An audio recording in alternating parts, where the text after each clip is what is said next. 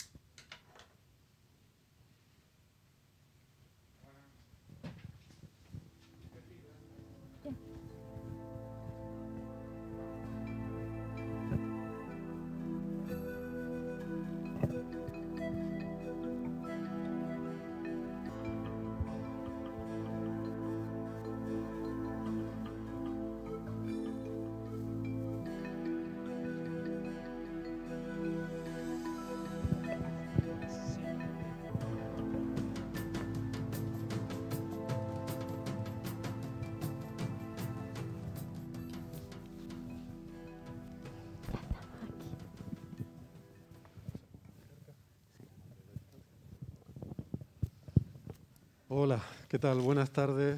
Gracias por venir hoy al museo. Eh, estamos retomando la presencialidad en estos eventos, así que, bueno, como ya ven, pues con el aforo muy limitado, les pedimos, ya saben, que por favor mantengan la mascarilla todo el, eh, durante la duración de todo el evento y que, eh, que respeten la asignación de asientos, que, que es importante que la tengamos por cuestiones de trazabilidad, pues Sanidad nos obliga a que, aunque a veces uno vea que hay un asiento libre, que que puede ser mejor que el que tenemos, por favor, respetar los, los asientos que tenemos asignados, ¿vale? Bueno, pues hoy tenemos otra de esas charlas que tenemos en colaboración con el GOAT, el Grupo de Observadores Astronómicos de Tenerife, y, y, además, pues hoy estoy encantado porque tenemos a Toñi Varela, uh -huh. que es eh, compañera en el Instituto de Astrofísica y presidenta de la Fundación Starlight, y nos va a hablar de, de, bueno, del derecho a, a, la luz de las estrellas, ¿no? algo muy importante hoy en día. ¿Qué tal, Toñi? Gracias muy por bien, estar aquí. gracias, Héctor, a ustedes. Encantados de, de, tenerte aquí.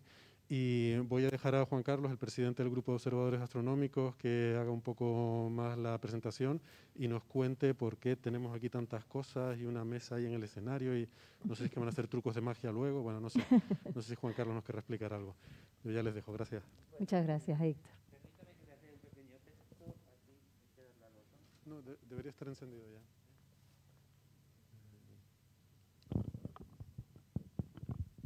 Bueno, bueno a mí me oyen. Vale. Pues buenas tardes, bienvenidos y bienvenidas a una nueva sesión de este, club de este ciclo de conferencias que hemos llamado Astronomía para Todos.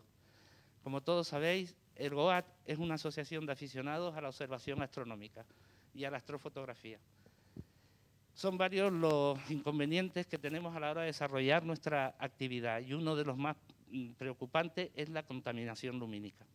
Desde que la asociación se puso en marcha ya por el año 2004, una de sus mayores preocupaciones fue, y sigue siendo, los problemas que ocasiona esta contaminación. Y prueba de ello fue la asistencia y participación del GOAT en la Declaración de La Palma en el año 2007, donde participamos con una ponencia y una exposición de astrofotos de la mano de algunos socios y socias que hoy nos acompañan aquí. Gracias Juanjo, gracias María José, y aunque por motivos personales Rafa Barrena, que ya estuvo aquí dando una charla, no ha podido acompañarnos, también le damos las gracias a él por vuestra participación y compromiso con la asociación en estos años. Hoy tenemos el placer de contar con una gran profesional en este sector, doña Antonia Varela, a Toñi, como le gusta a ella que la llamen. Es astrofísica, profesora, divulgadora y directora de la Fundación Starlight.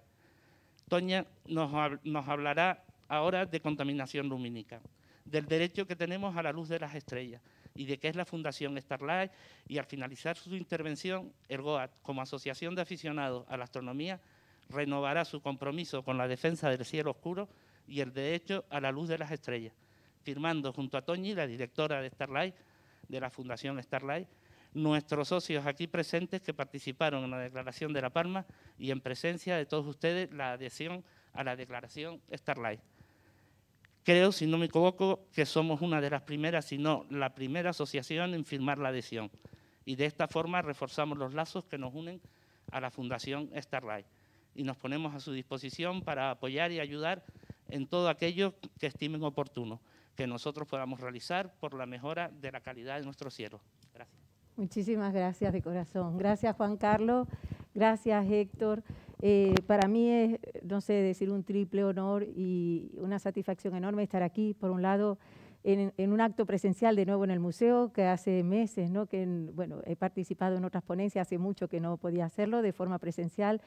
Me alegra mm, bueno, verles medias caras, ya para mí es un lujo. En segundo lugar, agradecer a Juan Carlos y a todos ustedes, a todos eh, los miembros del grupo de observadores astronómicos de Tenerife. Eh, realmente eh, se darán cuenta y espero que así se perciba en, la exposición que les voy a hacer la importancia que tienen para nosotros los astrónomos aficionados y astrónomas aficionadas y, profesionales, evidentemente, para la Fundación Starlight.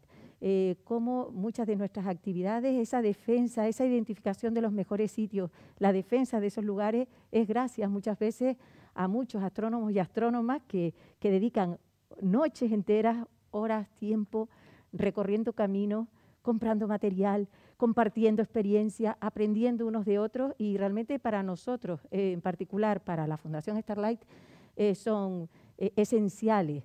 Además, gran parte de nuestros monitores y guías Starlight, que es el personal que capacitamos para hacer actividades de storytelling en los territorios Starlight, como les contaré, vienen de estas, de estas asociaciones. Y por otro lado, como ha dicho Juan Carlos, evidentemente eh, es un orgullo que sea eh, la primera asociación que se adhiere a la declaración Starlight como tal. Ahora explicaré quiénes están obligados a adherirse, pero quiénes otros también lo han hecho. Y en realidad es verdad que es la primera asociación eh, de astrónomos amateur, que me encanta la palabra, también amantes de la astronomía, que se adhiere y que sea de Tenerife, que también es mi isla, pues ¿por qué no decir que, que es doble, doble satisfacción? creo que han les felicito por todo el trabajo que han hecho, por todas las actividades que organizan, por ese entusiasmo incansable que es lo que hace que, vayamos creciendo y, que vayan creando, diríamos, una organización con peso, con prestigio, con reconocimiento, con entusiasmo. Y para nosotros es realmente un orgullo que sean parte de nuestros adheridos a esta declaración que, como muchos de ustedes han dicho, eh, y sabemos han sido también partícipes de su elaboración y de su creación en el 2007 en, esa conferencia internacional. Entonces, agradeciendo pues, al museo el permitirme esta oportunidad, eh, a ustedes, al GOAT, por eh, invitarme a, esta ponencia, les quiero poner un poco al corriente de lo que ha sido el origen, diríamos, de la Fundación Starlight, cuál ha sido el pasado, el presente y cuál es también el futuro en el que estamos caminando. Estamos en, tiempos muy complejos, pero no obstante vemos como al final muchas de estas iniciativas relacionadas con el cielo oscuro, con la astronomía, están siendo una auténtica oportunidad de desarrollo sostenible local también en muchos territorios, que es lo que perseguimos.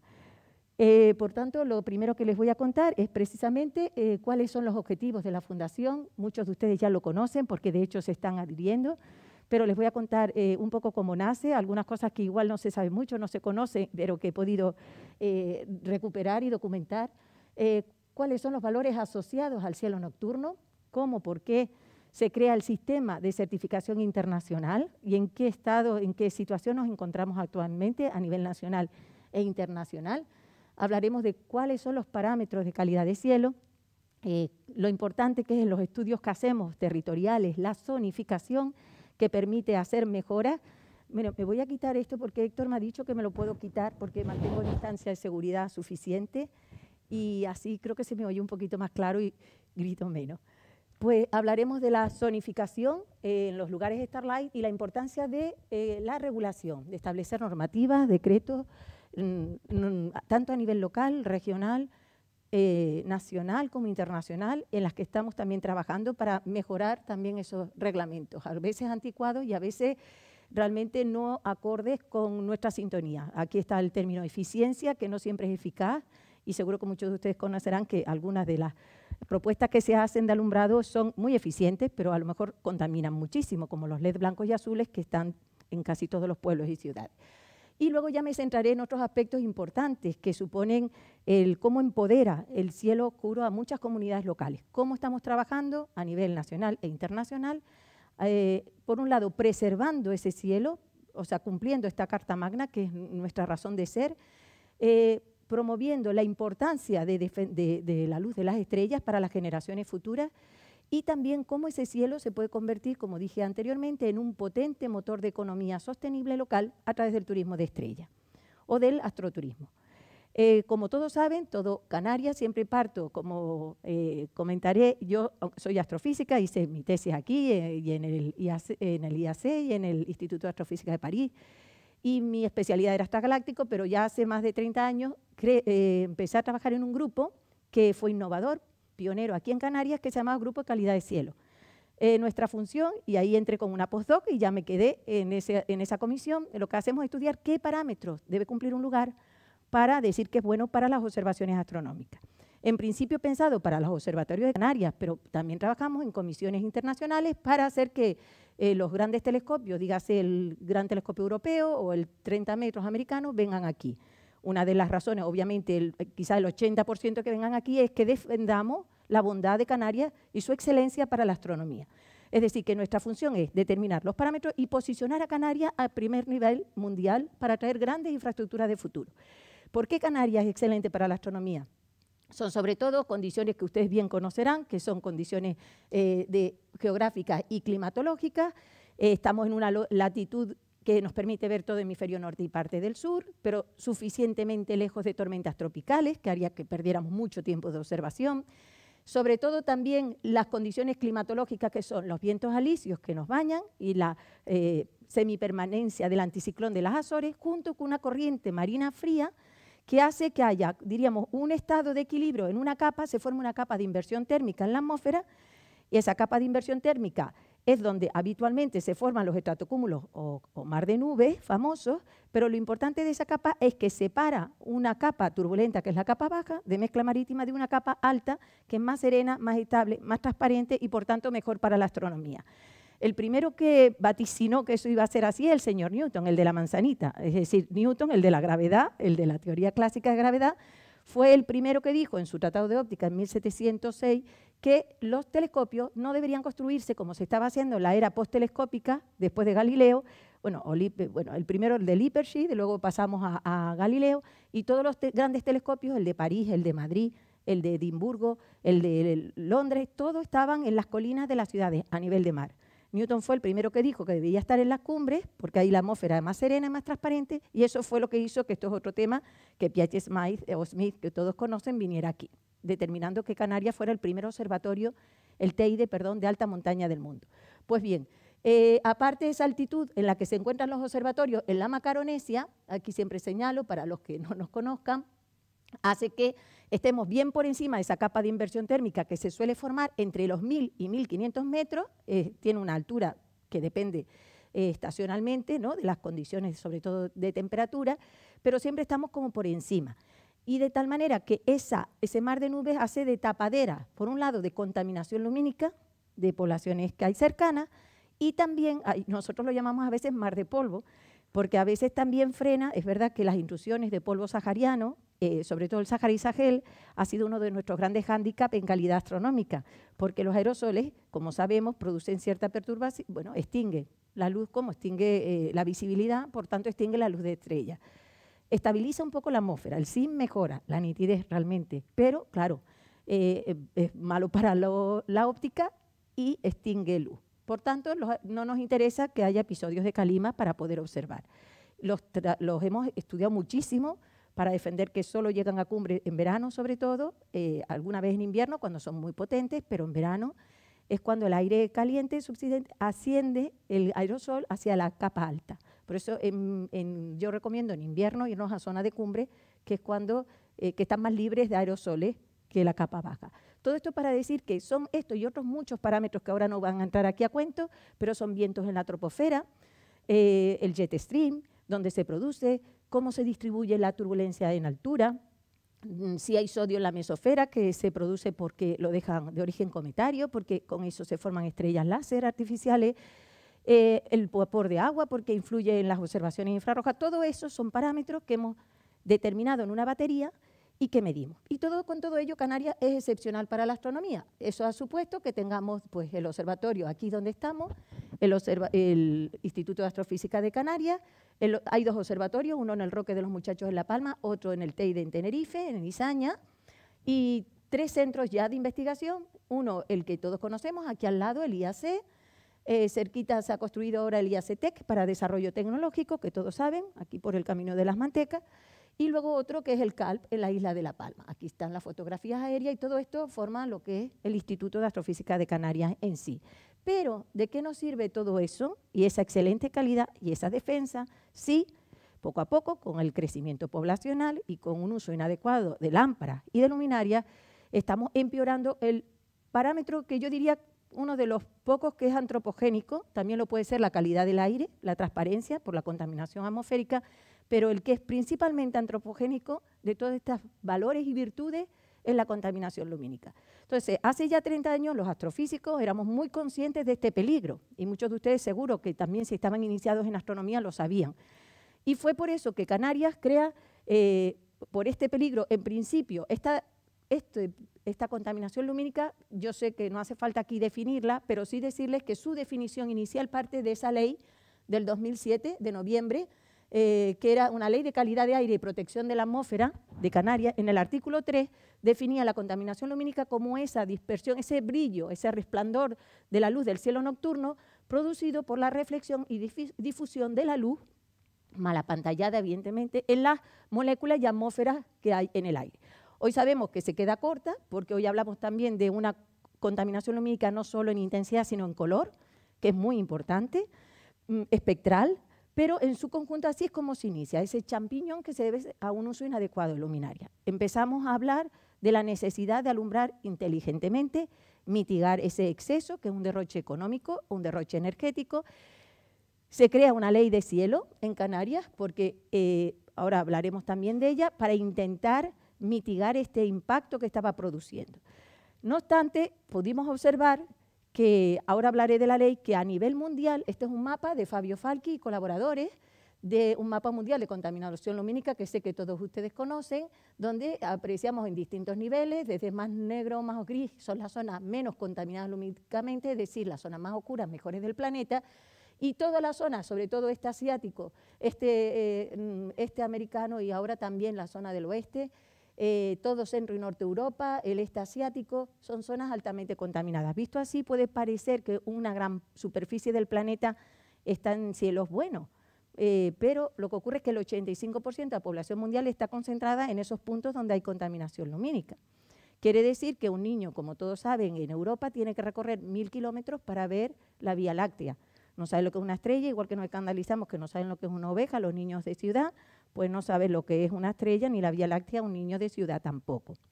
Entonces, fue por ello que se pensó que era absolutamente necesario hacer un llamamiento mundial a la importancia de preservar el cielo. En Canarias ya hace 30 años se crea esta ley que todos conocen, la primera ley gubernamental eh, para la protección del cielo.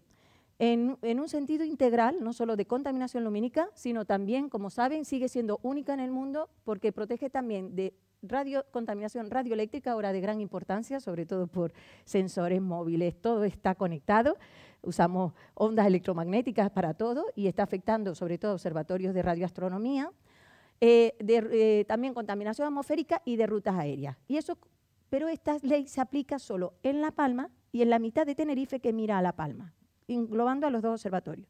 Ni siquiera la isla entera, ni siquiera al sur de Tenerife. Con lo cual, esta ley nos defienda a los observatorios y a nosotros, pero hacía falta algo más.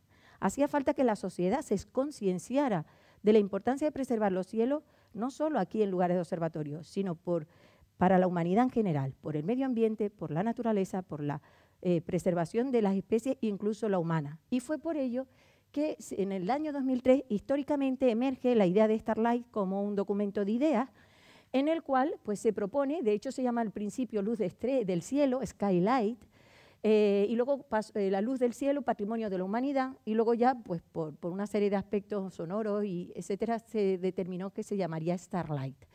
Yo lo que quería decir, no voy a leerlo entero, pero una de las cosas que quería destacar es lo que eh, pretende crear una plataforma de acción internacional en defensa del cielo oscuro como un derecho y por sus valores eh, científicos, astronómicos, culturales y medioambientales, promover y difundir la apreciación de la luz del cosmos, garantizándolo para las generaciones futuras, diseñar eh, diríamos, hablar de, la importancia y de la necesidad de limitar el impacto del uso abusivo e inapropiado de luminarias, generar propuestas de protección por eh, la luz artificial, sobre todo en lugares privilegiados como los observatorios astronómicos, eh, llevar a cabo acciones en defensa del cielo nocturno, identificar cualquier normativa local, regional, nacional, internacional en esa defensa y promoverla, y sobre todo, y para terminar, promover una declaración internacional para eh, defender, diríamos, el cielo y la luz de las estrellas como un patrimonio tangible e intangible de la humanidad.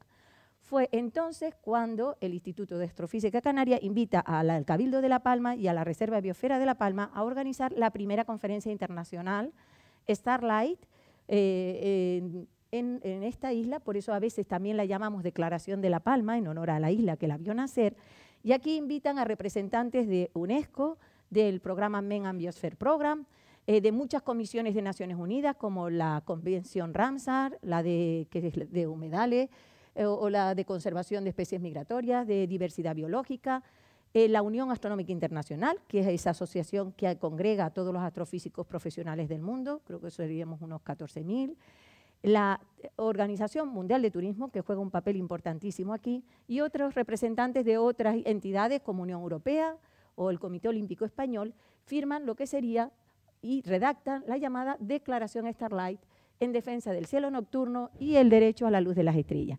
Ya el primer artículo habla del cielo como un derecho inalienable de la humanidad, equiparable a cualquier otro derecho ambiental, social y cultural, atendiendo a la incidencia que tiene esta contaminación y el cielo en todos los pueblos y en la conservación de la diversidad biológica.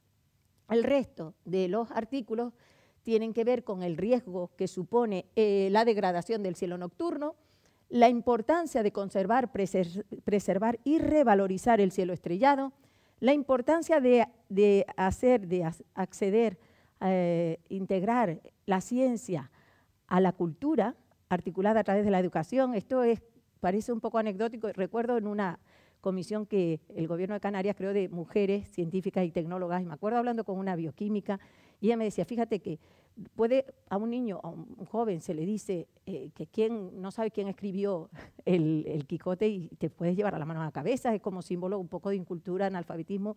Sin embargo, el no saber de qué está hecha una molécula de agua, cómo funciona determinadas, y estamos hechos de eso, ¿no?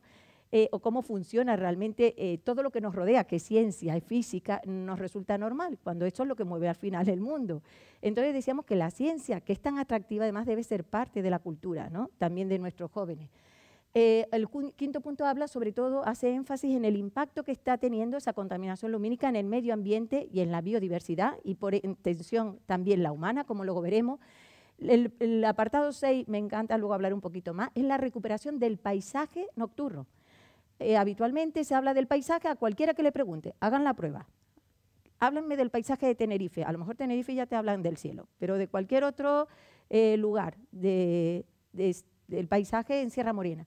Pues la gente a lo mejor te habla de las montañas, te habla de los ríos, de los lagos. Nadie incorpora el cielo. Y hay que incorporar ese paisaje en el paisaje de la tierra. De la naturaleza forma parte del paisaje. Además hay una palabra muy bonita, canaria, aborigen, que celaje, y me costó pronunciarlo, pero el celaje es el, paisaje del cielo. ¿no? Y eso hay que, eh, ya veremos que hay comisiones que lo están incorporando. El séptimo tiene mucho que ver con todo lo que es alumbrado inteligente, ahorro energético e innovación que esta es la más cambiante, porque la tecnología, por suerte, está cambiando mucho. El, el 8 ya veremos que tiene que ver con ventanas al universo, no lo voy a decir ahora para, repetirlo para no repetirlo después. Y el noveno, en lo que centraré la última parte de la charla, el turismo de estrellas. El turismo de estrellas, que es, diríamos, una propuesta que se hace desde Starlight para aprovechar aquellos entornos rurales, sobre todo más despoblados, más desfavorecidos, mm, donde el cielo es el único recurso que tienen, gratuito, diríamos que para usarlo hay que conservarlo, es decir, se hace sostenible con su uso y puede ser un potente motor de economía sostenible. Y por último, que la red mundial de parques nacionales, parques naturales, tierras Ramsar, reservas de biosfera, deberían certificarse Starlight. No entendemos ningún eh, parque nacional, ningún parque regional, ni espacio protegido que no proteja el cielo, porque es una incongruencia. Tú no puedes decir que defiendes el medio ambiente, ni tu naturaleza, ni la biodiversidad, si no defiendes el cielo que les cubre. porque el cielo está produciendo grandes alteraciones en estas especies. Incluso hemos tenido debates eh, o charlas y ponencias recientemente, una en Ceuta y Melilla, que era ciudades eh, sostenibles. Yo también ahí, aunque parece que, eh, defiendo la importancia que no se puede entender una ciudad sostenible, si también sus recursos energéticos no son sostenibles y sí contamina lumínicamente. Aparte, también es la parte solidaria con el entorno rural que hay que proteger.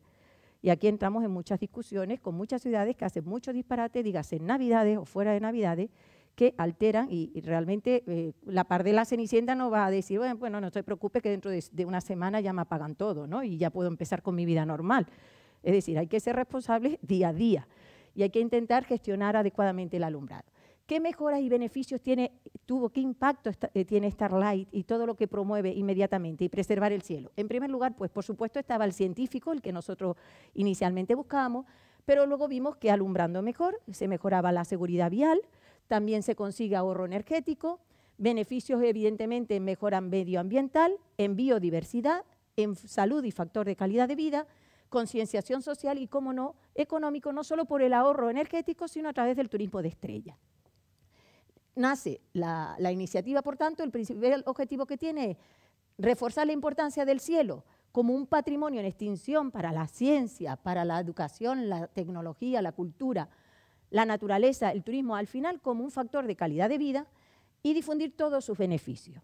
Nace, por tanto, la Fundación Starlight, que nace eh, de dos instituciones, emerge del Instituto de Astrofísica de Canarias, que nos da la parte pública, y la parte privada viene de una empresa, se llama Corporación 5, que es de asesoramiento, y tiene nos da, diríamos, la parte privada.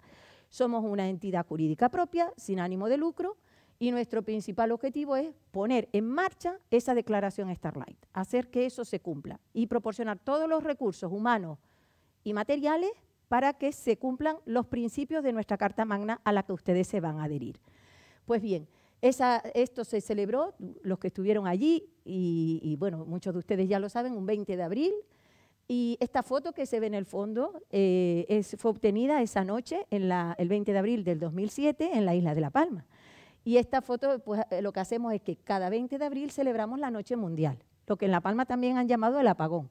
En todos los municipios eh, que son Starlight, que es toda la isla, se celebra un apagón controlado, con música local, eh, con títeres, con teatro, con cuentos y sobre todo con observaciones astronómicas, catas de quesos o vinos con estrellas, actividades donde nuestros monitores y guías de Starlight pues se reúnen con, la gente y, se disfruta. Y yo les digo que ese momento de apagón para muchos es realmente mágico. Y lo que a mí más me gusta es sobre todo cuando veo familias, el año pasado donde me tocó, estuve también en La Palma, y recuerdo que al final una pequeñaja que estaba en brazos de su, de su padre, y me acuerdo cuando se encendieron las luces, porque volvíamos a la normalidad, y eso que es un alumbrado en La Palma mm, controlado.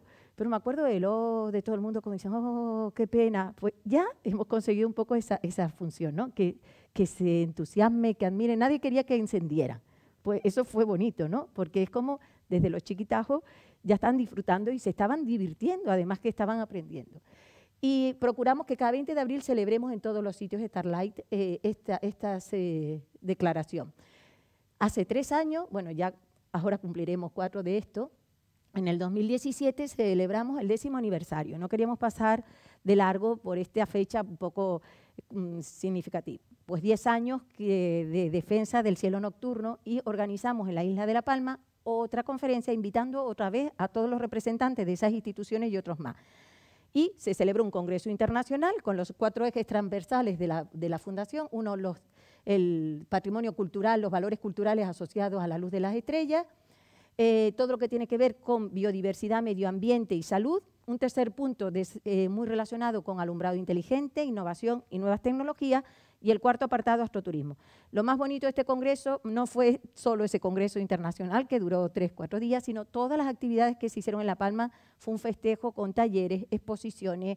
Eh, los, muchos jóvenes en sus centros secundarios hicieron actividades de medir el brillo del cielo y los pusieron en el Congreso Internacional. No vean qué tablas y ellos pusieron sus trabajos, música, eh, un apagón el 20 y otro el viernes que abrían la playa. O sea, fue una fiesta de todos y para todos, una forma de celebrar esa incorporación de La Palma y ese, ese ejemplo que da también La Palma a nivel mundial.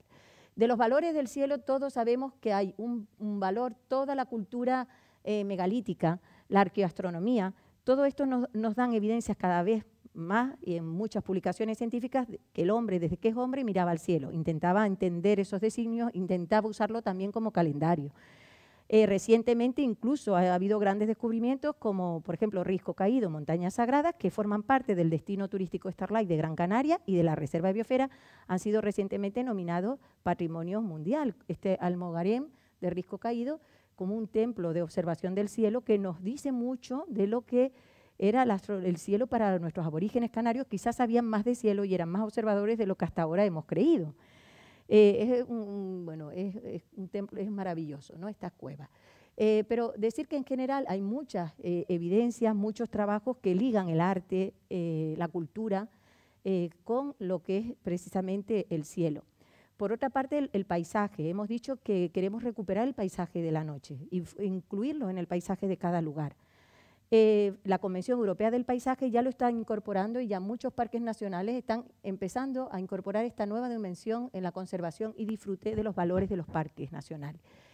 Luego, el, artículo octavo hablaba de la ciencia, proteger lugares patrimonio mundial. Yo me acuerdo que esto, esto está todavía en marcha, esto lo está llevando ICOMOS, eh, y también lo, ICOMOS, que es el Consejo Internacional de Sitios y Monumentos de la UNESCO, la Unión Astronómica Internacional y UNESCO. Son los que están liderando esto. Están intentando que los lugares de observación astronómica de alto interés, como por ejemplo, o de excelentes como son Canarias, Chile y Hawái, empezando por ahí, sean patrimonio mundial. Es complejo porque creo que para que algo sea patrimonio mundial tiene que ser algo gestionable, con lo cual todavía no están claros los criterios pero que sepan que al menos eso se ha incorporado, se está debatiendo y está en trabajo. Intentar que el cielo pueda ser un patrimonio mundial también. Y luego en la lista seriada aparecen otros lugares como Baja California, México, Sudáfrica, lugares del planeta que también son excelentes para la astronomía. Eh, en cuanto a la biodiversidad y medio ambiente, bueno, en medio ambiente todo es obvio que todo lo que hablamos de luminarias, lámparas, su fabricación, su transporte, su uso, produce emisiones de CO2 con lo cual, cuando alumbramos adecuadamente y no contaminamos, se mitiga también el cambio climático. De tal manera que hay vínculos directos. Yo llamo indirecto a todo lo que supone alteraciones de especies, hábitats y ecosistemas. Todo lo que altere eso está alterando también el clima. Con lo cual, eh, sabemos que tanto la flora como la fauna tienen una serie de aspectos en sus ciclos biológicos, en su desarrollo, eh, que tienen mucho que ver con los días y las noches. Un altísimo porcentaje de especies, 65%, son nocturnas, con ciclos nocturnos. Todo lo que suponga alterar esos ciclos produce realmente alteraciones en la navegación, en las relaciones predador-presa, mutualismo, en la reproducción, fisiología, en la mortalidad. Yo siempre pongo el ejemplo de la luciérnaga. Mucha gente me dice que ya en el pueblo no se ven luciérnagas. La luciérnaga es un pequeño insectito que aparea la hembra para aparear eh, para atraer al macho, se vuelve luminiscente. El macho la ve y la pareja. Pero ¿qué ocurre? Con la contaminación el macho no la ve. Y según me han dicho, también he leído algún artículo que encima el macho, el pobre, confunda a la hembra con, ese super, como esa super hembra que es la, la ciudad y no sabe por dónde atacarla. Con lo cual me imagino las alteraciones psicológicas que puede tener de por dónde la abordo, ¿no? Aquel gran champiñón. Con lo cual, en cualquier eh, sentido, tanto estoy hablando de las luciérnagas, eh, si hablo también encontramos eh, problemas para las tortugas, especies oceánicas, reptiles, anfibios, aves, murciélagos. Prácticamente en toda la naturaleza encontramos que las especies dependen y se orientan con la luz de la luna, luz de las estrellas, alterar eso altera su ciclo. Pero no solo, como todos sabemos, la biodiversidad, también la salud. Cada vez más hay artículos y eh, evidencias científicas que muestran la correlación entre la contaminación lumínica y problemas de salud. Somos seres que estamos, luego veremos en un vídeo final un resumen, alargando artificialmente el día. Necesitamos luz natural, pero también necesitamos oscuridad natural. ¿Qué ocurre? Somos seres de cerca de 24 horas circadias.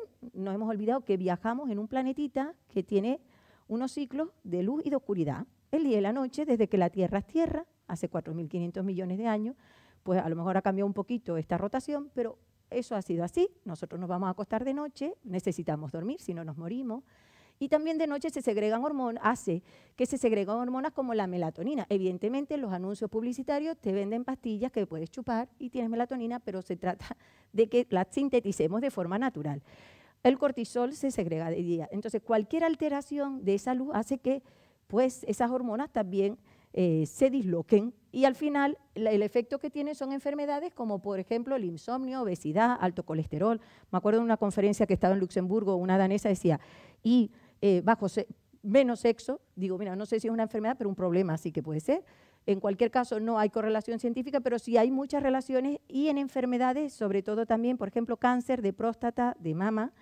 Y hace ya tres años el Premio Nobel de Medicina fue concedido a, tres investigadores que hablaban justo de la cronosdisrupción, es decir, de cómo eh, produce disfunciones y problemas de salud muy importantes eh, en el ser humano eh, la contaminación lumínica.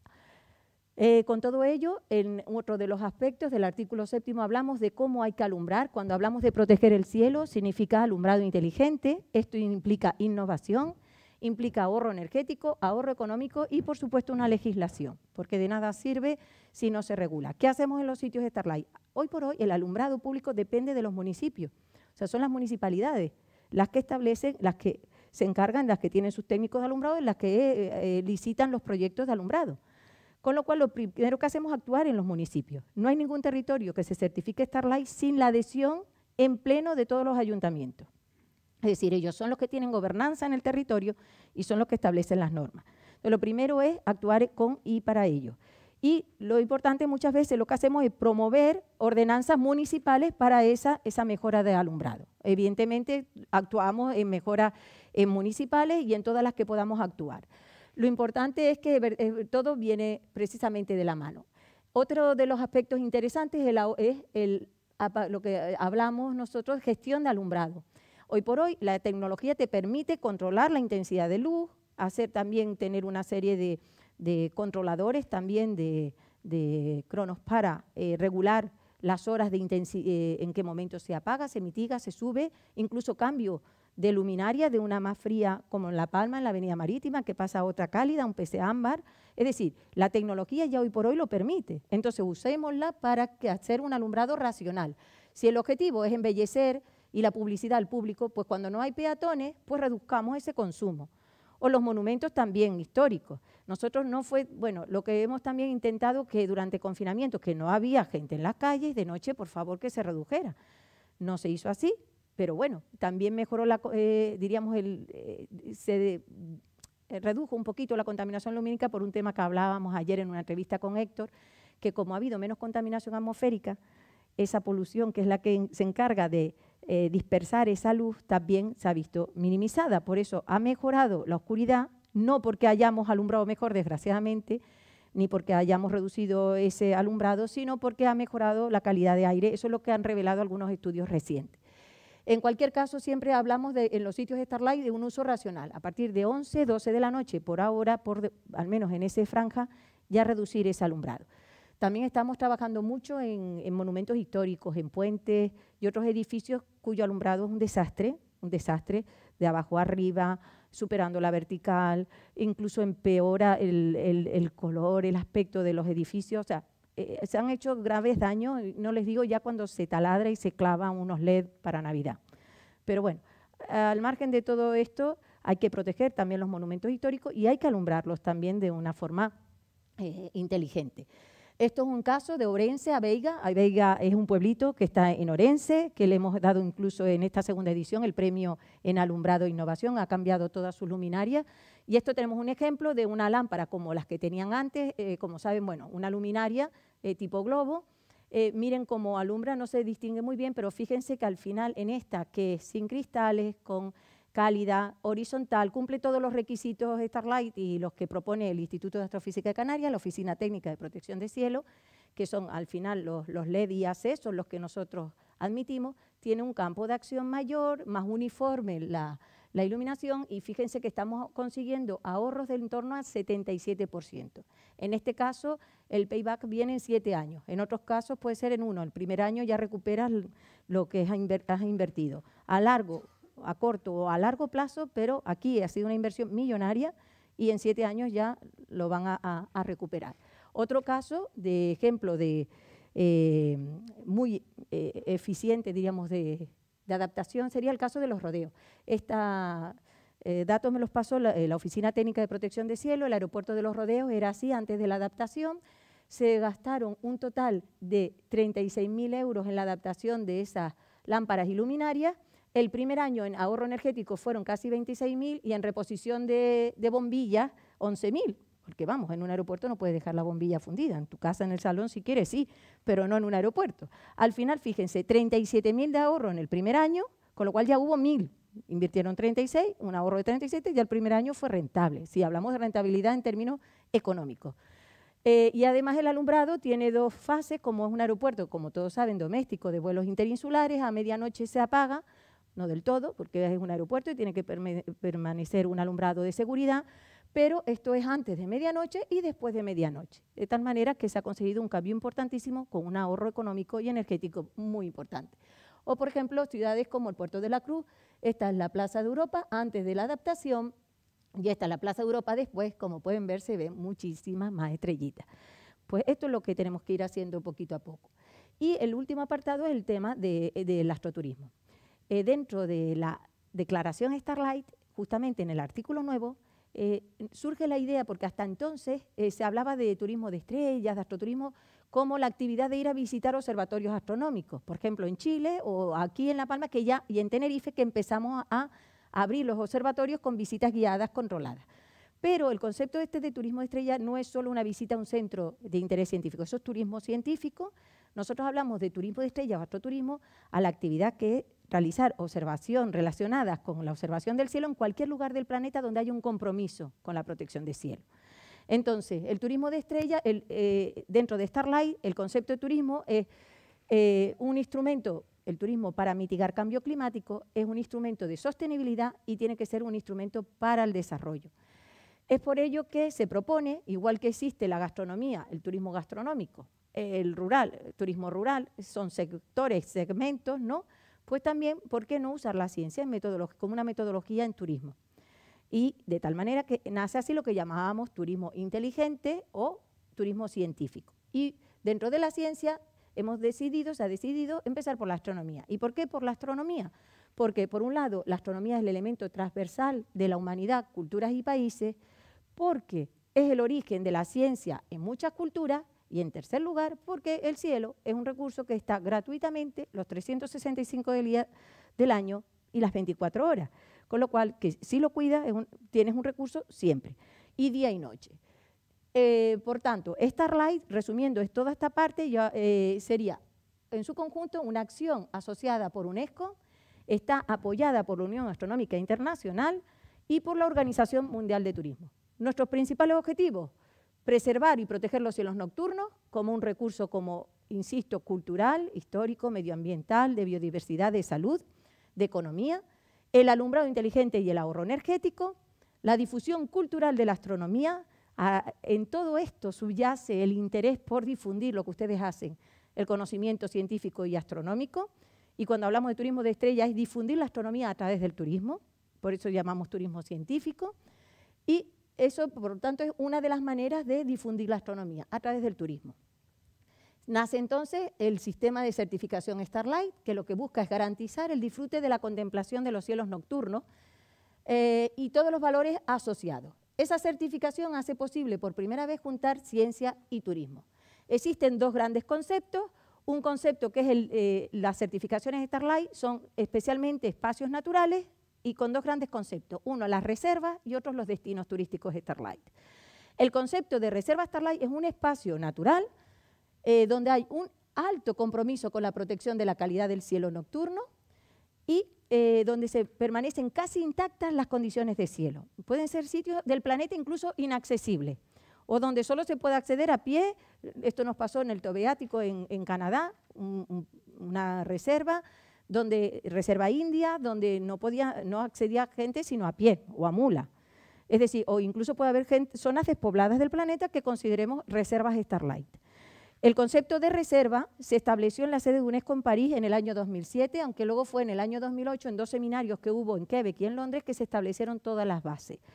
Por lo tanto, sigue un poco los criterios de la Reserva de Biosfera porque nace desde UNESCO eh, con esa concepción.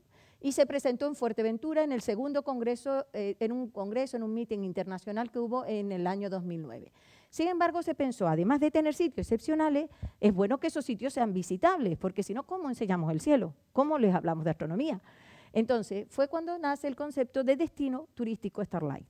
Es decir, son aquellos lugares con un cielo, igual no matrícula de honor, pero sí sobresaliente, los parámetros que se miden y que se consideran, que luego mencionaré, son los mismos, solo que si a uno le exigimos matrícula honor, el otro le pedimos sobresaliente, pero es visitable.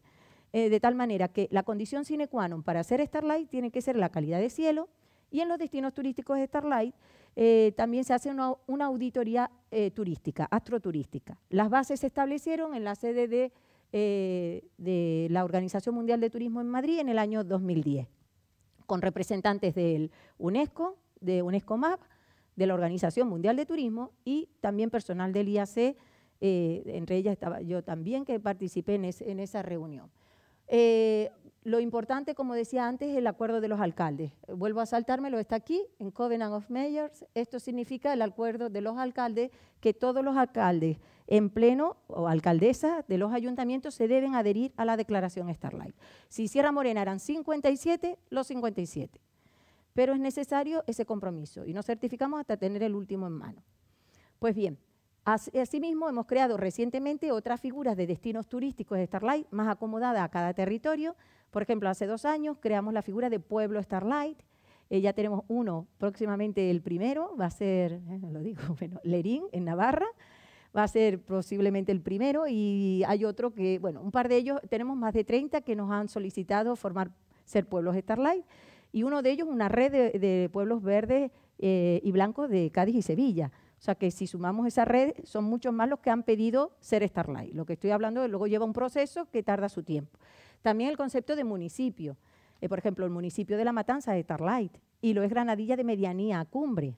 Entonces, también un municipio puede certificarse. Al final es un destino, pero más pequeñín. Y también para incentivar la iniciativa privada, al final, eh, bien que la administración pública puede encargarse y debe encargarse del marketing, de la difusión, de la defensa, de los reglamentos, pero el que genera luego el producto turístico son los propietarios de alojamientos rurales, las asociaciones rurales, son los que están a pie, diríamos, de calle.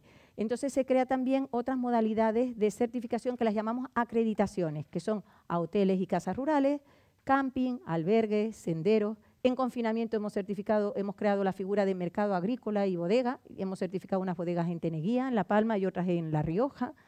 Tenemos otra ahora en Andalucía y otras aquí en Tenerife, pendiente, que son una bodega Starlight, una bodega en un cielo eh, excepcional, que además se comprometen a adherirse, adhieren a la declaración, a alumbrar eh, inteligentemente eh, su, su, empresa, apagar las luces para hacer actividades, hacer actividades de turismo de estrellas, por ejemplo, catas de vino, como decía antes, catas de aceite, catas de queso, un sendero nocturno terminando con un menú astronómico y una observación, un taller de astrofotografía. Lo importante es que ahí se habla de astronomía y ahí eh, te puedes juntar a, tener una velada maravillosa, eh, al final con una mantita, un, chocolate o un vino. La cuestión es hablar del cielo, hablar de las estrellas y defenderlas y ponerlas en valor.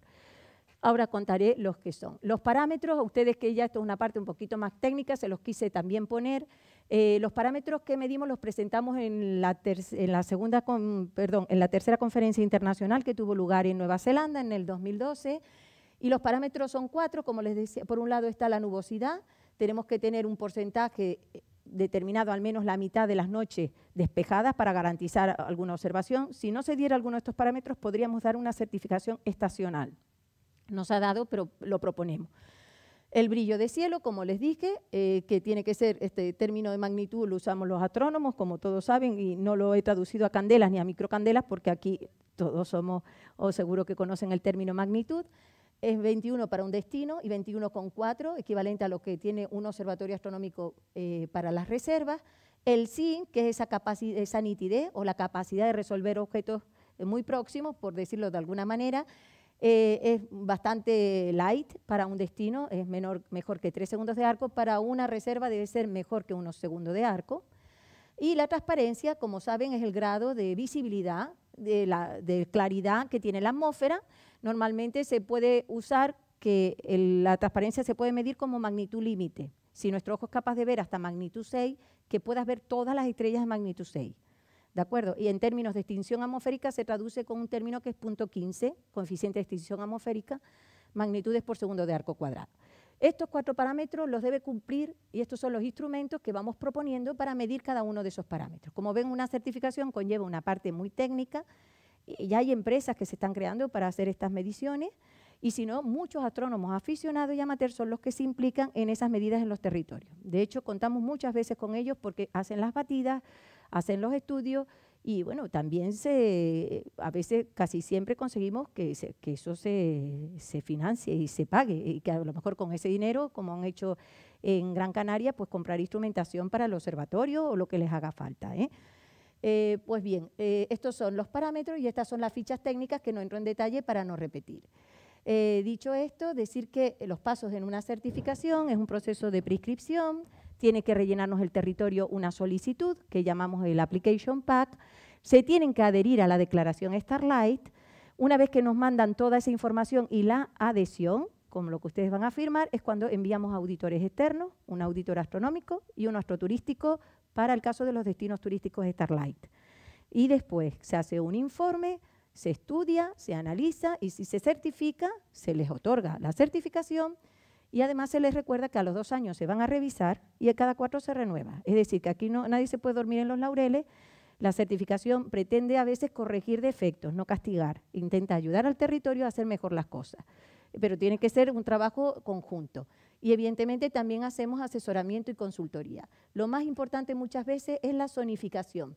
Nosotros, por ejemplo, cada chincheta muestra dónde se midió eh, los parámetros estos de calidad de cielo en la isla de Fuerteventura, que quería aspirar a ser reserva Starlight. Pues bien, de ese estudio se saca un mapa de contaminación lumínica, las zonas más oscuras son las zonas mejores, ¿no? Como lo pueden ver aquí, la zona del Cofete, toda la playa del Jarugo y todas estas hasta el Cotillo, y luego se identifican las zonas de alta contaminación lumínica. Y de aquí se saca un mapa de zonificación. Aquí marcamos el núcleo, que es la zona de alta protección, la de zonas donde casi está intacta el cielo nocturno, una zona buffer o de amortiguamiento, que es esta zona verde, que suele ser exterior al núcleo y la protege, protege el núcleo de la contaminación de poblaciones próximas, una zona externa, que es donde hay que llevar a cabo medidas urgentes, importantes de alumbrado, pero está dentro de la zonificación y podemos determinar que hayan zonas excluidas. Es decir, no vamos a castigar a la reserva de biosfera porque en Corralejo o en Puerto del Rosario Morrojable no se hagan bien las cosas. ¿Qué hacemos? Excluir esa parte. Aún así, ellos tienen competencia y su obligación es cambiar para ser incorporados. Y además, todo lo que ahí hagan afectará a la reserva de biosfera y a la reserva Starlight. Por lo tanto, eh, podemos determinar que hay un sector que esté externo. de, hecho, fíjense, la agrupación astronómica de Fuerteventura es la que nos advirtió una vez que aquí en Corralejo iban a poner un alumbrado, un proyecto admitido y que estaban seguros que eran LED de 4.000 Kelvin. Imagínense, ahora hoy por hoy no se admite más de 3.000, en los sitios Starlight no más de 2.700 y nos iban a poner un 4.000. Eh, claro, les pedimos el proyecto y dice, no, es que no es oficial. Digo, ¿cómo vamos a defender eso si todavía no es oficial? Dice, ¿qué intuimos? Digo, pues esperen, cuando esté oficial, mándenos el proyecto. Lo estudiamos, lo mandamos a la Oficina Técnica de Protección de Cielo y se estudió y efectivamente era difícil encontrarlo, pero pero era de 4.000 Kelvin. Pues montamos, bueno, fueron ellos los que organizaron, montamos enseguida una jornada, invitamos al presidente del Cabildo, al de urbanismo, a todos, y les dijimos que ponía en peligro la certificación y Starlight. O sea, es que se pierde, y eso, claro, es peor que no obtenerla, es perderla. Y en aquel momento hubo el compromiso de hacer una ordenanza municipal que ya la han hecho y ya está, si no se aprobó ya, a punto de aprobarse. Y que está sirviendo de ejemplo a otras eh, a otros municipios o a otros eh, destinos como Gran Canaria. Es decir, que muchas veces los astrónomos aficionados son los que están detectando ciertas irregularidades, son los que nos avisan las asociaciones y son las que se ponen en marcha para evitar un deterioro mayor. O sea, que por eso les digo que les estoy eh, sumamente agradecida. Y fíjense, querido, superponer el mapa de zonificación de la Reserva de Biosfera de Fuerteventura. Fíjense qué coincidencia hay en los dos. Y es que es lógico, ¿no? Las zonas de máxima protección en naturaleza y biodiversidad también al final son las zonas de mejor cielo o a la inversa, ¿no? Con lo cual la similitud, eh, tenemos muchas reservas de biosfera y el paralelismo en las zonificaciones son enormes. Bueno, no voy a entrar en esto, sino ya en algunas certificaciones, por ejemplo, eh, de casas y hoteles rurales. El primero que certificamos es este, el Trout Point Lodge, que está en Canadá. Está considerado por el Forbes y por New York Times como uno de los 10 mejores hoteles en reserva salvaje del mundo. Lo importante es que, bueno, realmente es un placer estar allí entre ardillitas y que apagan, se hace en el fuego pues, cualquier actividad eh, de estrellas, tiene senderos. Bueno, lo importante es que se comprometieron a la adhesión, se adhirieron a la declaración Starlight. En esos establecimientos son propagadores de los contenidos de la declaración y proporcionan a los visitantes instrumentos, equipamiento para hacer actividades de turismo de estrella. Eso, en eso consiste. Incluso muchos tematizan su hotel con nombres de habitaciones que tienen que ver con objetos astronómicos o proporcionan también un horario, tienen que tener un horario acorde a que si haces una observación nocturna, el desayuno tiene que ser un poquito más tardío, darte un picnic, un chocolate, una mantita. Bueno, en definitiva, hacer agradable que se pueda hacer observaciones. Algunos de los eh, han sido muy innovadores, como esto que está en Extremadura, entre Encina y Estrellas, que muchos lo conocerán. Eh, nuestros eh, amigos José Luis y, Cristina han hecho aquí un, hosting de más de 70 telescopios en modo robótico, de forma que es como tener alquilado un trocito de cielo. Aquí les llegan visitantes en verano, por ejemplo, de Múnich, y allí no tienen cielo, ellos cogen su telescopio, lo dejan aquí, ellos se los conservan, lo ponen robótico y ellos durante su estancia en Múnich observan por la noche un cielo de España maravilloso. Ya tienen más de 70, es el primero mayor de Europa, el segundo del mundo, tienen de todas partes del mundo, americanos, canadienses, de todas partes, que dice que también en confinamiento no tenían a nadie en, el albergue, pero tenían los, telescopios a tope todas las noches. Bueno, porque también la gente aprovechaba para hacer observaciones. Este, por ejemplo, la abadía La Rotuerta, La Domen, que está también entre Viñedos, en Valladolid, o el Monasterio del Olivar, recientemente certificado el año pasado, donde hicimos el tercer encuentro Starlight. Cada año hacemos un encuentro, desde hace tres años, de toda la familia Starlight. Y eh, este año pues lo celebramos, incluso nos atrevimos en octubre, poquito después fue el confinamiento en Aragón durísimo, y bueno, hicimos un seguimiento, éramos 70 personas, el primer día 90, y hicimos un seguimiento dos semanas y, y free COVID, y fue estupendo porque respetamos todas las normas, todo con los distanciamientos, hicimos seguimiento no solo a los participantes, sino al personal de cocina, a los monjes, etcétera, etcétera, y por suerte, por suerte no pasó nada. Eh, también paradores como el del Teide, como saben, también Starlight, el de Gredo, el de Doñana y bueno, varios de ellos. Decir que la iniciativa Starlight junto con Astrónomos Sin Fronteras en el 2010 eh, eh, promueve un proyecto que se llama de parques de estrellas, que es identificar a nivel mundial la existencia de espacios en pueblos y ciudades donde poder observar el cielo. Es algo que ustedes hacen de forma natural, que saben que en tal punto en tal zona de La Esperanza o de las Lagunetas, Las Raíces o en, en Izaña, tienen un punto de observación. Pues es un poco identificar esos lugares y hacer miradores estelares. Algunos no tienen infraestructura y otros tienen una pequeña, por ejemplo, en las Islas Atlánticas, un planiferio, o en la isla de La Palma, pues un pequeño o mesa o piedra mm, siempre tiene que evitar el impacto paisajístico y tiene que estar integrado al paisaje. Muchas veces aprovechamos miradores de aves o miradores ya de paisaje diurno y una pequeña señalética a la polar y algún pequeño planiferio. A veces son un reloj de sol, como este que está en Los Pedroches, que también es Starlight. Es muy gracioso porque estos son, este es un profesor jubilado y son astrónomos aficionados que sus colegios hacen actividades y talleres y me decían que este reloj de sol, esta zona es donde hacían los jóvenes el botellón. Dice que sin embargo nunca ha habido un deterioro ni un daño en ese, en ese reloj de sol. O sea, es donde ellos hacían actividades de niños, de pequeños y eso ya forma parte de su propia cultura. Con lo cual dice que nunca ha habido, porque a veces eh, muchos de estos elementos pueden sufrir vandalismo. Pero bueno, para eso también tenemos que irlos educando, ¿no? Para evitar. También hay observatorios astronómicos, por ejemplo, el, de Valladolid, el de Tiedra y o el del Monsec, y estos son dos que no son, eh, este es el de Galáctica, donde hicimos un curso de Starlight, y bueno, promovemos la creación y el uso de centros como eso. Algunos son Starlight, otros no, pero por lo menos son centros y lugares de difusión de astronomía. Siempre quiero mencionar este caso, el primer monumento cultural Starlight, que es precisamente Becerril de Campo. Hace unos años esto era así, es un pueblito en Palencia de unos 800 habitantes, pero antes, como está en la ruta del Camino de Santiago, antes habían hasta en torno a 3.000, 4.000 habitantes. Se ha despoblado por completo, son 700, 800 ahora, muchas iglesias abandonadas y unos arquitectos la han reconvertido en un templo Eh, como digo yo, es un museo donde se mezcla arte románico, renacentista, barroco, con astronomía, tiene un péndulo de Foucault, una sala para conciertos, una musealización con objetos de, tanto antiguos, astrolabios, sectantes, donados por gente del pueblo, y otros que son modernos de restos de satélites que alguno ha recuperado y ha donado, que eh, incluso hay alguno de la ESA del pueblo y, ha conseguido algún cacharrillo y, y, están allí.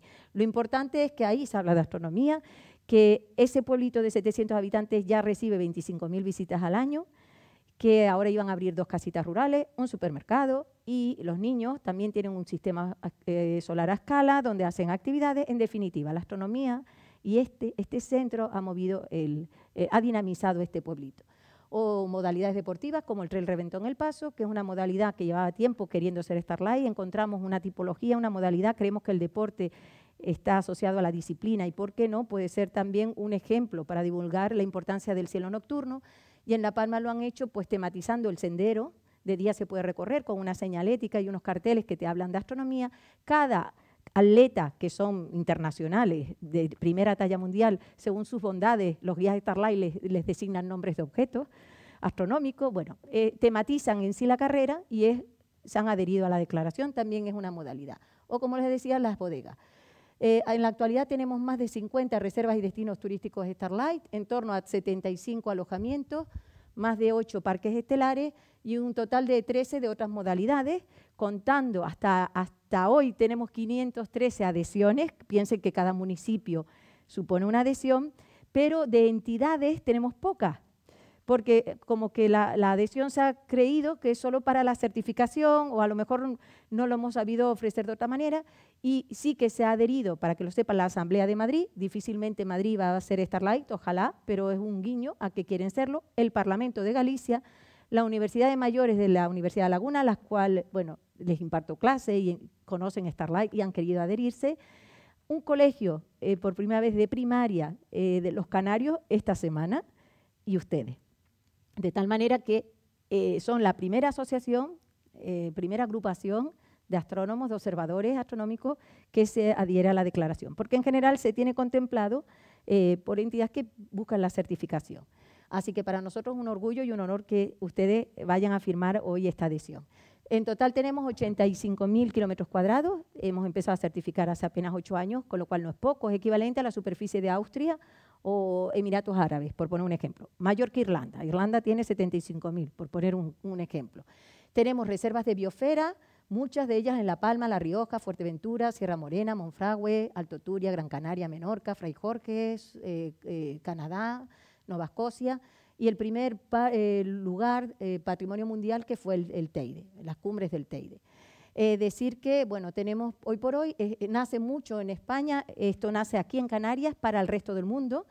España lo entendió muy bien, el concepto Starlight, sobre todo para la certificación y el turismo, porque España es una, está llena de agujeros negros, nunca mejor dicho, que es la España vaciada, y además es escuela de turismo, con lo cual entendió aquí que había un potente recurso para, para usar.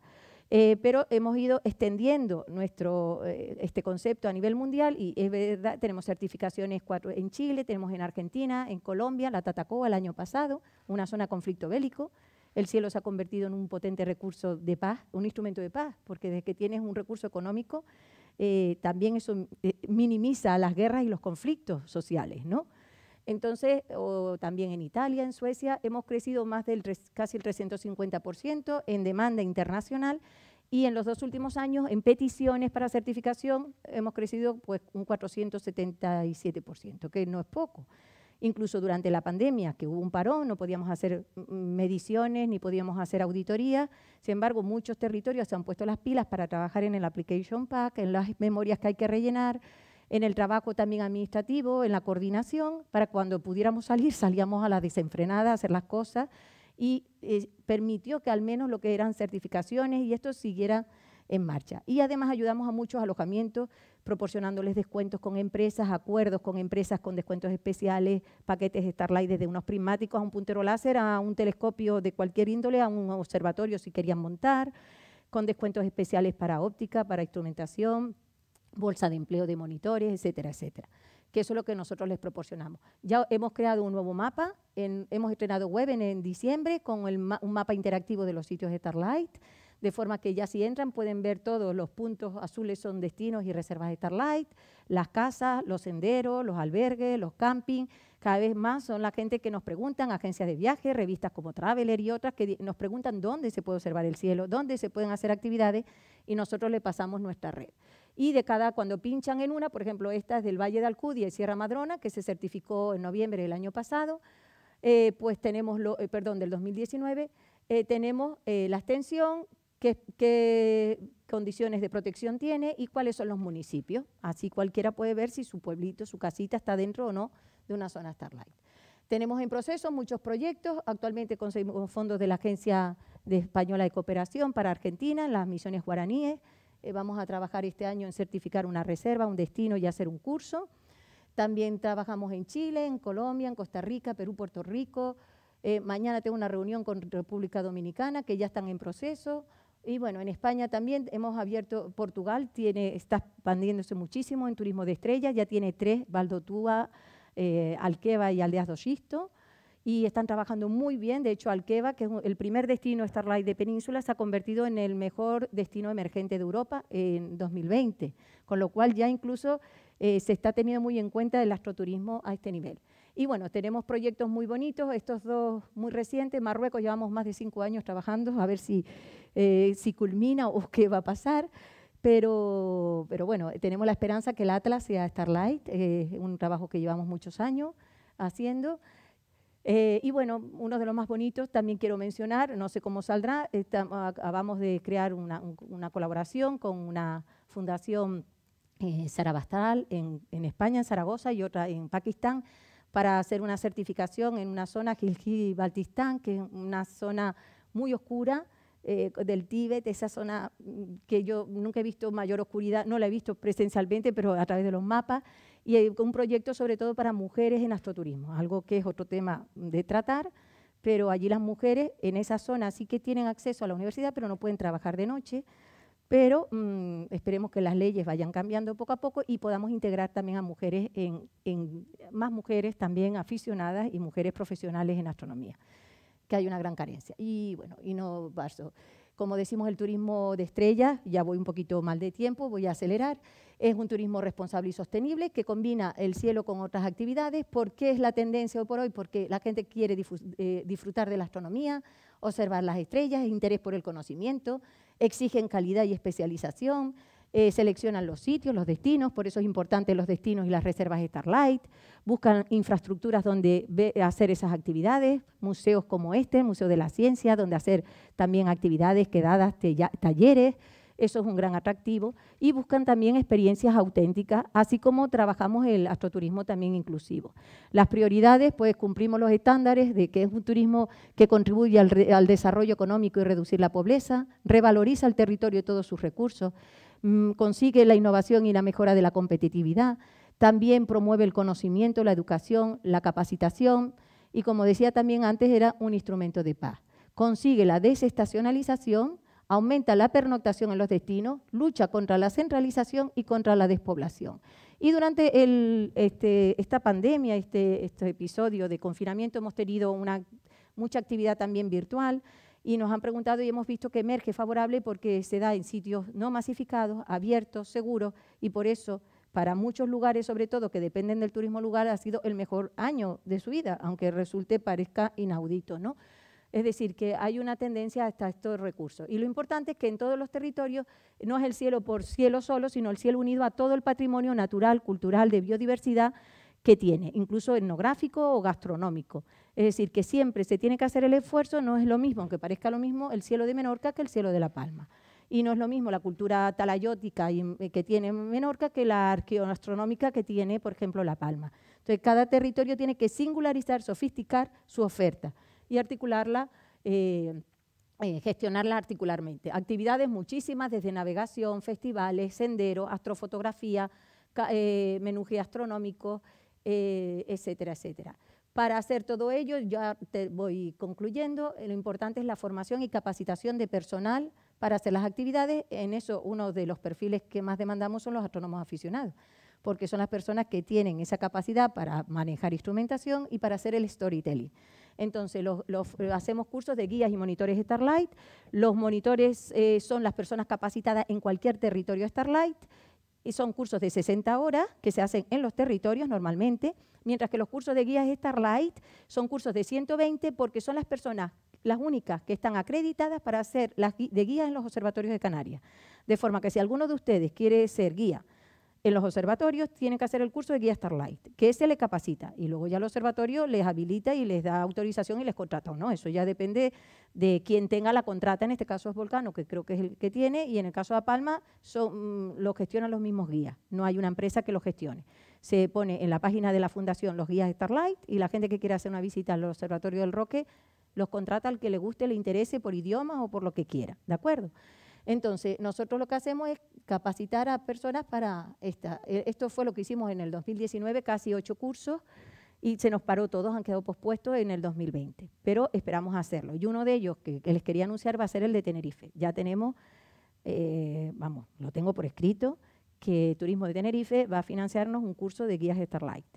Un curso múltiple va a ser de monitores, de guías, de actualización, porque el carnet se renueva cada dos años y hay que hacer un número de horas y también de promoción de gente que es monitora y quiere hacer guía. Se los digo por si están interesados, pueden escribirnos y les incluimos en una, en una lista prioritaria para avisarles desde que salga el curso. Y ya por último, el impacto, pues este, muchas revistas científicas se hace eco del astroturismo y decir que en algunos lugares pues ha aumentado muchísimo el número de visitantes con unos ingresos muy importantes anuales, con comarcas muy pequeñitas como el Monsec, con unos dos millones y medio de, de ingresos al año en una comarca de 900 habitantes, o por ejemplo ya en la Tenerife 200.000, o La Palma que casi es un 10 o un 15% de ingresos de turismo vienen del astroturismo.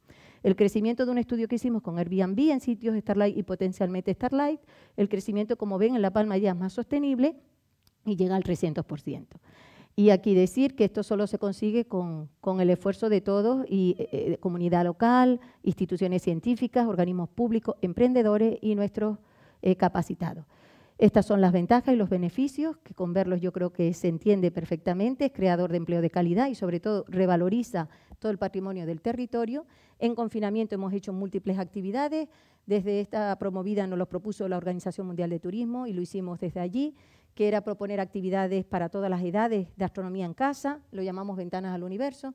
Eh, cada, día teníamos dos charlas en el Festival Starlight, y, estas charlas se siguen haciendo ahora el último jueves de cada mes. Este jueves tenemos a hablar de materia oscura y astrofotografía de Chile. Jorge Sánchez, que es un doctor del astrofísico, hablará de materia oscura y, los de astrofotografía de Chile, que son astrónomos aficionados de astrofotografía, también contarán su proyecto. Y la noche mundial que le hicimos en casa, apagando las luces de nuestras ventanas y balcones. El maratón Starlight se hizo a título individual, los talleres virtuales, pero bueno, también se llevó a cabo. Y lo más importante, hemos publicado en confinamiento un manual de buenas prácticas para la COVID, especial para profesionales de astronomía, y este libro de historias del cielo que queremos publicar en papel, que ahora está gratuito en la web, que es historias de leyendas del cielo de distintos países, culturas y distintos continentes. El storytelling es esencial y lo que hemos intentado por distintos eh, colaboradores, guías monitores, he escrito este libro. Este es el encuentro que les dije que celebramos en el Monasterio del Olivar y en ellos lo que se establecen los retos, desafíos y cuáles son los proyectos para los próximos años. Me encantaría, ya que se han adherido a, este, se van a adherir a la, declaración, van a estar invitados para el próximo. No sabemos dónde se va a realizar, pero ya veremos dónde se organizará. Eh, lo que sí está claro, vamos a hacer una conferencia internacional dentro de la agenda de la Organización Mundial de Turismo. Hemos creado el grupo de turismo científico que lideramos nosotros. Forman parte también la Universidad George Washington, Alqueva en Portugal, La Palma, Chile, FITUR, eh, FITUR también forma parte de nuestro grupo y otra entidad de México. Y hemos creado un grupo para liderar iniciativas a nivel mundial de turismo de estrella. Y es importante para nosotros, porque bueno, estamos hablando que es una entidad de 600 miembros afiliados, 150 países miembros, y que nos den ese huequito de ocho grupos de trabajo, que estemos ahí hablando de astronomía Resulta a veces exótico cuando me presento en esos foros, pero ya se nos escucha y es una forma de cambiar la forma de concebir. Y esto es presumir un poquito. De estos premios yo quiero destacar este último que nos dio Fiturnex. Entre 250 iniciativas de 50 países, pues salimos en segundo lugar en el año 2020. Significa que esta es la tendencia. Y también damos premios, cada año damos premios en cuatro modalidades. Este año hemos celebrado la segunda edición y los daremos en una conferencia internacional que va a tener lugar, y va a tener lugar ahora en junio, y esta semana no lo ha anunciado públicamente aún, lo vamos a dejar para septiembre, porque me han dicho que en Portugal la cosa está todavía peor, no podemos garantizar patrocinadores ni viajes, pero están todos invitados, en vez del 3 al 5, próximamente anunciaremos, seguramente sea del 6 al 9 de septiembre. Y bueno, ya termino con con esta frase que, eh, que, al igual que otras actividades, es el, el artículo noveno, dice que el turismo puede convertirse en un poderoso instrumento para desarrollar una nueva alianza en favor de la calidad del cielo. Y el turismo responsable puede y debe integrar el paisaje como un recurso a resguardar y valorar en cada destino. Y es esa generación de nuevos productos basada en la observación que abre posibilidades insospechadas en los actores turísticos, comunidades locales e instituciones científicas. Y ya termino porque me, antes de que me maten y me disculpan, con un vídeo que resume todo lo que he dicho, podría saltármelo, pero como es tan bonito y también lo hemos hecho en confinamiento, bueno, no lo ha hecho una empresa especializada. Nosotros lo que hemos hecho un poquito es el guion. Y espero que les guste, lo hemos hecho con mucho cariño y para resumir lo que somos y, y dónde estamos, ¿no? Proteger el cielo nocturno esa fue la premisa del Instituto de Astrofísica de Canarias cuando creó la Ley del Cielo en Tenerife y La Palma en 1988. Un precedente para otras comunidades y países que extendió la importancia de la luz de las estrellas. Un patrimonio de todos que como tal debía ser cuidado y protegido.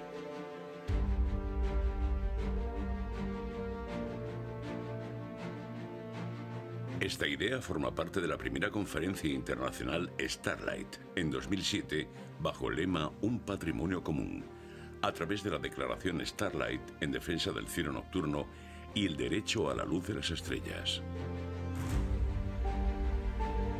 Esta declaración promueve la protección del patrimonio natural y cultural asociado al cielo nocturno, el control de la contaminación lumínica, la protección de lugares de observación, el desarrollo económico local, así como la promoción de los valores asociados a la contemplación del firmamento, su importancia para la biodiversidad y la calidad de vida.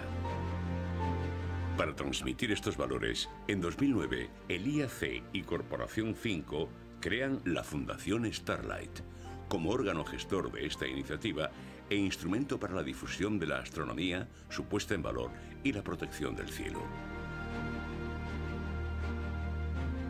Uno de los objetivos es el reconocimiento y mejora del paisaje nocturno, adaptado por la Convención Europea del Paisaje, al que ya se han adscrito parques nacionales y espacios patrimonio mundial.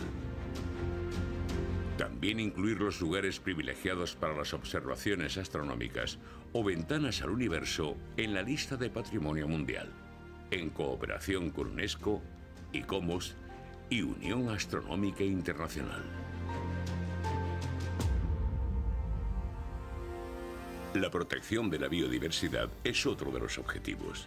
La contaminación lumínica altera el comportamiento, las relaciones, la orientación, la reproducción e incluso la fisiología de muchas especies. Y no solo de la vida animal, sino también de los humanos, ligada a un ritmo circadiano de hormonas y variables biológicas dependientes del día y la noche, de actividad y descanso, donde un desequilibrio afecta de manera directa a nuestra salud. Por ello es importante fomentar la innovación tecnológica y promover una iluminación inteligente, sin derroche energético, compatible con nuestra sensación de seguridad.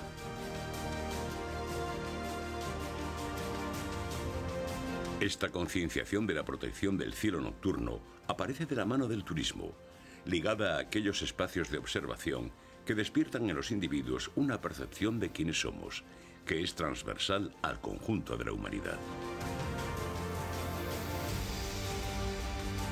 El astroturismo promovido por la Fundación Starlight es una modalidad innovadora de turismo sostenible y responsable que combina la contemplación del cielo estrellado y la difusión de la astronomía con el desarrollo económico local.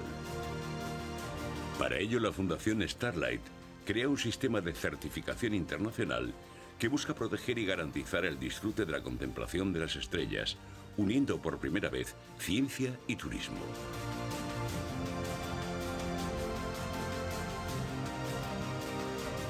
Nacen así las reservas y los destinos turísticos Starlight, espacios comprometidos en la defensa y preservación del cielo nocturno y en sus valores asociados para un desarrollo turístico sostenible basado en este recurso natural.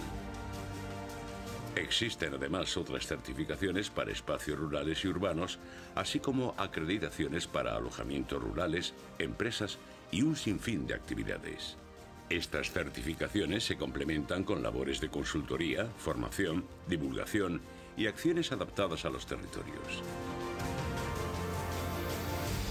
Actualmente existen más de un centenar de certificaciones en todo el mundo, junto a unas 500 adhesiones a la declaración original que siguen creciendo gracias a la difusión de un compromiso asumido cada vez por más personas e instituciones. Todo este trabajo no sería posible sin el esfuerzo y concienciación de todos los implicados hacia los objetivos de la Declaración de la Palma de 2007, que defiende el cielo nocturno y el derecho a la luz de las estrellas y de todo el conocimiento que nos transmiten. Un bien de todos que como tal debe ser protegido de manera global y para siempre.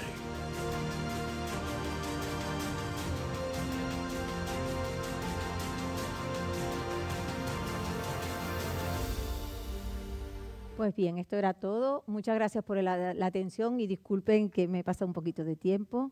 Así que gracias. Y si tienen preguntas y hay tiempo, Héctor, que me diga.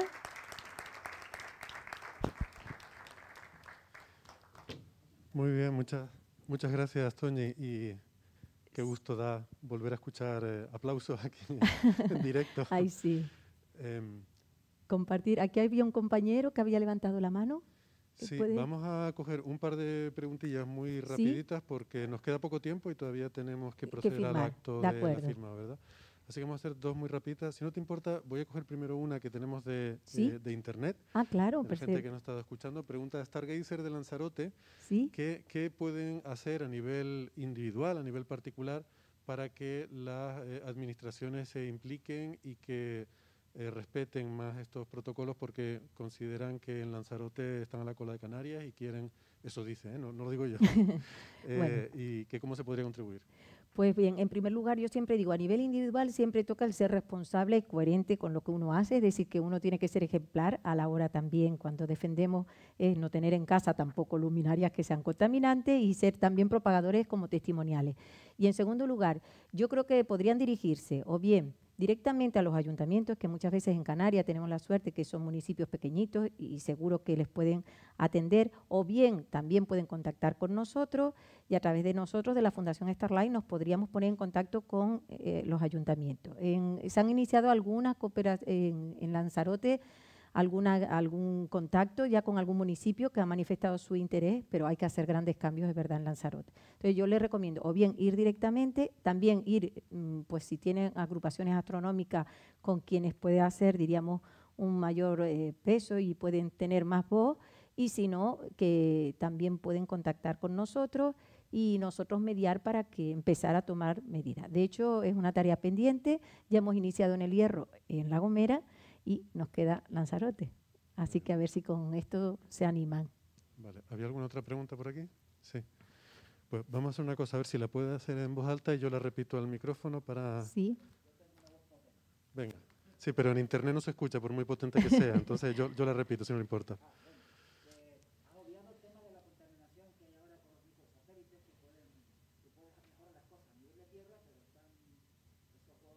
Sí.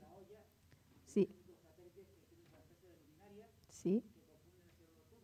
Pues me alegra que. Déjame que la repita. Sí, la, pregunta es muy pertinente. De hecho, la comentamos ayer justamente en nuestra conversación, Toñi. Es sobre que ha estado hablando eh, básicamente de la contaminación lumínica procedente de la Tierra, pero que tenemos ahora estas constelaciones de mega constelaciones de satélites que también están teniendo un impacto sobre el cielo. Pues sí, te agradezco la pregunta. No la he introducido en el tema, pero estamos trabajando y hemos estado trabajando todo el confinamiento, mm, incluso en cooperación con el Instituto de Astrofísica de Canarias y con otras entidades mundiales, eh, en establecer una serie de recomendaciones para Naciones Unidas. Realmente COPUO, o sea, Naciones Unidas, ha pedido al IAC que organice una conferencia internacional que se iba a hacer el año pasado, no se pudo. Ahora iba a ser en abril y será en octubre probablemente, pero hubo un workshop virtual en octubre del año pasado. Se creó un comité científico en el cual también la Fundación ha colaborado, somos parte de ese comité científico y de ahí se han determinado una serie de criterios con expertos mundiales eh, de muchos países eh, para este COPUOS, que es el consejo de, que organiza y que de, esa comisión del uso pacífico del espacio ultraexterior. Los astrofísicos, como saben, somos muy críticos con esta constelación. Siempre he dicho que la contaminación lumínica no hay ningún aspecto nada que pueda justificar un alumbrado ineficiente, porque todo va en contra de todo, de la ciencia, del medio ambiente, de la biodiversidad, de la salud, etcétera. Sin embargo, aquí con los micros, con los megasatélites, las megaconstellations, tenemos que encontrar ese compromiso entre lo que es que todo el planeta tenga 5G y Wi-Fi y llegue el Internet y el compromiso en cuanto a impacto por la contaminación lumínica y paisajístico, que esto muchos de, no solo muchos telescopios que hacen grandes surveys durante primeras horas también de la noche, que cada cinco minutos van a tener un bólido, un bólido de este tipo, artificial. Un bólido artificial. Claro, efectivamente. Y además también los que hacen eh, paisajes, nuestros guías, nuestros monitores, muchos astrofotógrafos también se quejan de ese impacto como esa famosa foto de Daniel. Entonces, ¿qué estamos haciendo? Coordinarnos, organizarnos a nivel mundial, todas las instituciones, Dar Sky, del IDA, eh, el IAC, la Unión Astronómica Internacional, la Fundación Starlight. Eh, hemos creado este grupo Hemos trabajado, cada, yo estaba en el grupo de Dar Sky Oasis y de eh, observatorios astronómicos. No es mi especialidad la parte de, mega, de megaconstelaciones, pero ahí había expertos de todo el mundo. Y hemos sumado recomendaciones, ya están disponibles ah, en la página de la IAU y yo también creo que la vamos a colgar en la página de la Fundación para que las lean, las analicen. También estaban los del CIE, que la Comisión Internacional de Alumbrado, entonces era un compromiso entre lo que pedíamos nosotros y lo que el CIE daba, pero eso viene bien, debatir, discutir y llegar a un consenso, ¿no? Y vamos a ver si se nos escucha. La idea es que lo vamos ahora en febrero se presenta a COPO y vamos a ver si de aquí se determina un reglamento, una legislación, que es lo que queremos, de ese uso de espacio exterior. No existe una legalidad, no existe para alumbrado de contaminación, imagínense para esto. Entonces la idea es que esto se regule. Muy bien, pues ahora, si les parece bien, me gustaría invitar a Juan Carlos como presidente del GOA a subir al escenario. No sé si, como tenías ahí un problema con ese pie, no sé si necesitas ayuda para subir. ¿Vas bien? Vale. Eh, y lo que sí vamos a hacer antes de empezar es vamos a proceder a higienizar adecuadamente las manos. Sí, eh. Porque, para asegurar que no vamos a estar. Ah, muy bien. Ahí tenemos el hidrogel. Pues lo que estamos haciendo es pues, adherirnos a la declaración Starlight de la Fundación Starlight como la primera asociación del mundo, parece que lo hacemos. Y bueno, estamos contentos y esperemos que sigan saliendo cosas así donde podamos poner nuestro trabajo y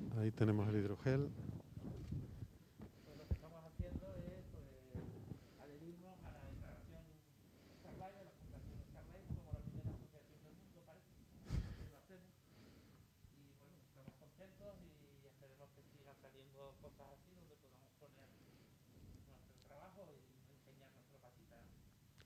Sí. Muchas gracias. Empiecen ustedes. ¿Eh? Empiecen ustedes. Sí.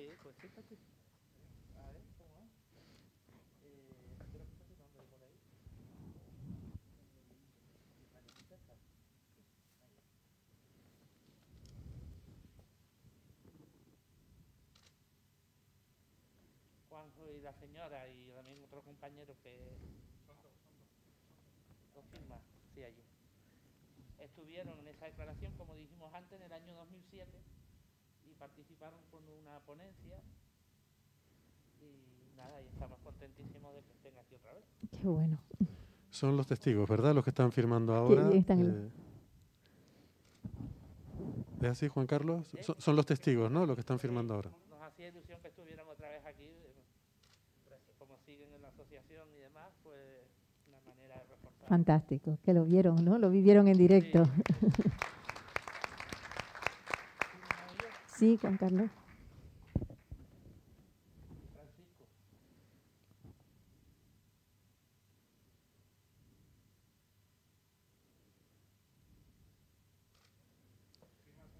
Sí. Firmo yo. Y ahora con la firma de la presidenta de la Fundación Starlight queda certificada la adhesión del grupo de observadores astronómicos de Tenerife. Posiblemente la primera asociación mundial. La primera del mundo que hay agrupaciones.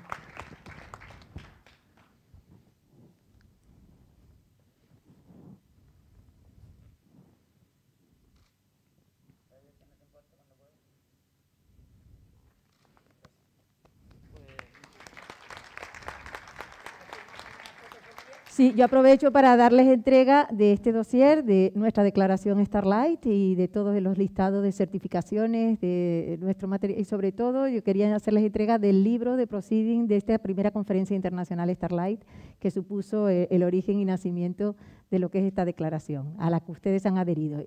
Muchas gracias. Sí. Bueno, yo, yo no, pónganse ustedes, yo, yo aquí solo estoy... Ah, muchísimas gracias. Si esto es el mejor regalo que me podían hacer. Ay, qué bueno. Muchas gracias. Ustedes, yo no... Este es el regalo de la adhesión. Eh, Héctor. No, no, lo importante es que estén ellos. No, yo, soy el becario aquí, ¿no? de eso nada. Venga, Héctor. me pongo por aquí. Me pongo así. Así, no mucho. Muchas gracias. Gracias a todos. Ay, sí, pero mira, la tenía. Se me oye. No sé si salió porque hice la especie resumida y no tenía. No Yo lo repito para la audiencia en internet, ¿vale? Que en principio, bueno, con eso terminamos la conferencia de hoy. La, del próximo mes de, de, este ciclo del GOAT eh, será cuándo, perdona Juan Carlos, no sabemos todavía, ¿no? No, está todavía un poco sin definir, pero será sobre el sistema solar por la doctora Julia de León. Muchas gracias.